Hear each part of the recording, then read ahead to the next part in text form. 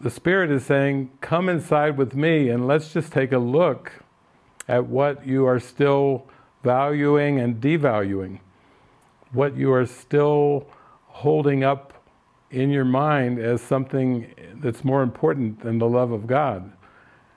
And we begin to get into the practice of going inside and really becoming honest with ourselves about what it is we truly want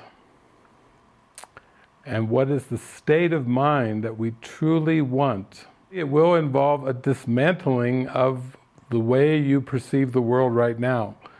So there's going to be some shifting and changing. It's really just shifts and changes in your own mind, but it will seem to play out in terms of, of the world that is being perceived by that sleeping mind.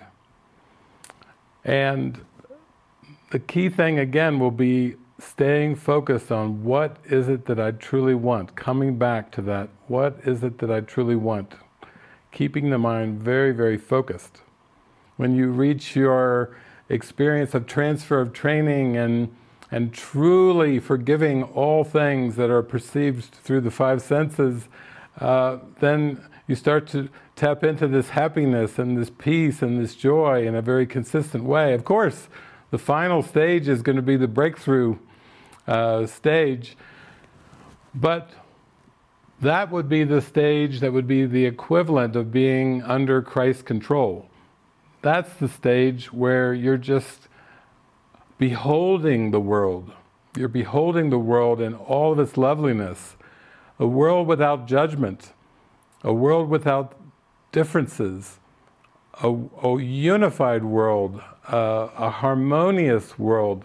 What's not to like about a unified, harmonious world? If you want it, if you've ever thought of heaven on earth or the, the most heavenly state that you could experience, and that's, that's the final stage. It's called a period of achievement in the Manual for Teachers.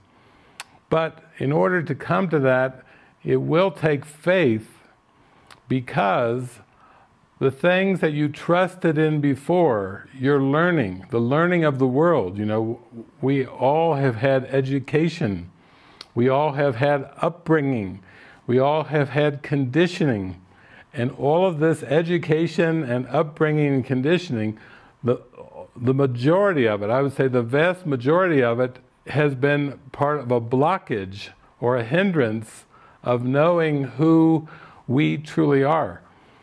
So, you know, at one point in the Course in Miracles, Jesus says, You've been poorly taught. okay, that's, that's pretty direct. I've been poorly taught. Another point, he says, Resign now as your own teacher. you've been, you've been teaching and learning a lot here, and, and it's not been going well. You know, you have not found the freedom that you had hoped for. You had not found that, that happiness that you had longed for.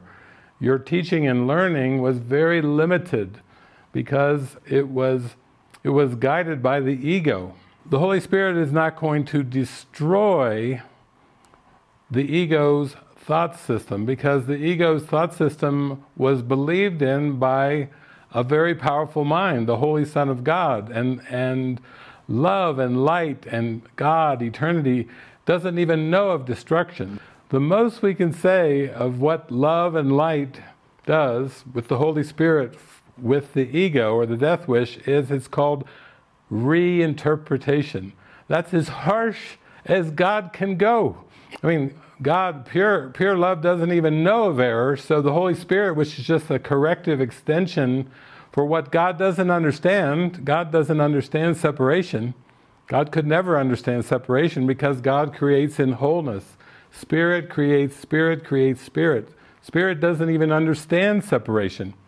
But the Holy Spirit, that corrective aspect, has one function, and that is reinterpretation. So, if you're looking for a knight in shining armor, that knight in shining armor to save the day is reinterpretation.